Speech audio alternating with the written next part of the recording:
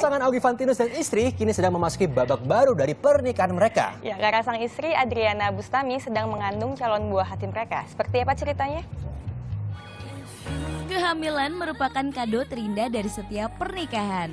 Termasuk kehamilan dari istri Augie Fantinus, Adriana Bustami. Saat ini sang istri sedang mengandung 12 minggu. Mereka pun sudah mulai sering periksa ke dokter tentang perkembangan sang calon buah hati. Kayak kemarin aja kita baru ke dokter cek USG Eh, di gini kita tuh karena pertama kali jadi akhirnya gila ya Tuhan tuh begitu hebat. Karena kita lihat dia udah bisa gerak dia muter. Sampai kemarin dokter bisa ngomong gini apa gimana ya?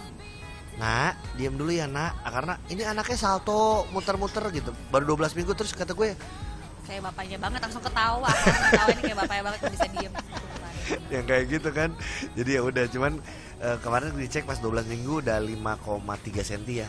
Ya udah 5,3 cm terus apalagi pas mamanya bilang "Eh, halo baby gitu ya. Terus tiba-tiba dia kayak kan udah ada udah ada bentuknya kan ada jarinya dia kayak gitu-gitu gitu yang kita kita kita seneng banget lah.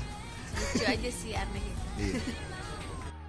Sebagai seorang suami yang sedang menanti kelahiran anak pertama, pastinya sosok suami yang siaga biasa dilakukan oleh setiap pria. Lalu, apakah Augie bisa menjadi suami siaga? Ini nggak usah nan- nunggu nanti. Sekarang aja kayak siaga bener. Maksudnya gue yang lebih, gue yang lebih cerewet. Karena gue yang yang jangan makan macam-macam, yang jangan lupa minum susu, yang jangan lupa obat, vitamin, yang ini. Jadi emang gue oke yang lebih cerewet. uh, posesif banget dia sama anaknya. Posesif banget sama anaknya. Aku makan apa ya waktu itu ya? Yang aku dimarahin ya Aku dimarahin. Ah, makan apa sih Makan apa lah? oh makan- pengen makan ini mie instan Iya. makan mie instan terus dimarahin karena ya, ya gimana pengen kan ya terus yang kayak kamu tuh ya nggak mikirin buat anak gini gini gini gini gini gue marahin Oh curhat, curhat. ya jadi gitu, cuman ya gue karena mikirin yang sebenarnya kalau orang ngomong nggak apa-apa gis sekali sekali kok makan mie instan ya udah cuman gue suka suka panik aja karena kan ya namanya pertama kan gitu. Dia lebih hati-hati. Sekarang tuh punya kebiasaan baru sih sebenarnya. Jadi aku tuh kalau siang tuh harus tidur siang. Jadi kalau nggak tidur siang tuh malam pusing. Itu agak aneh sih Ya, sebenarnya. sama satu lagi kayaknya belakangan lagi senang nonton DVD.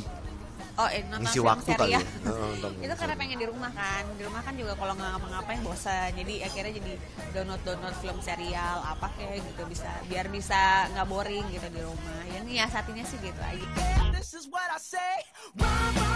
lah sa- pertama kita harus selalu mengucap syukur dengan apa yang udah Tuhan berikan kepada kita.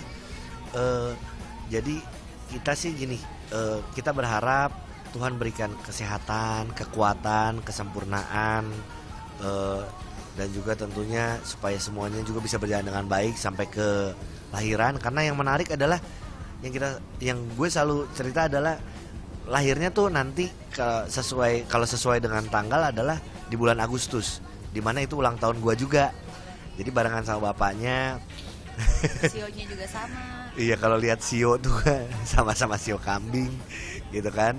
Terus jadi ya kita excited lah buat itu Nah, Augie selain harus jadi suami siaga, dia pun juga makin sibuk, tahu kan kamu? Iya iya, dia itu Hmm. sebagai manajer tim eh, timnas basket putri Betul. Indonesia ya. Hmm. Nah pasti sekarang lagi di Taiwan nih, Hmm. Cesar, tepatnya di Taipei. Iya. Sampai 9 Februari. Betul. Semoga menang ya, ini persiapan untuk SEA Games 2015. Yes, go Yes. Augie, go Augie. Yap. Oke,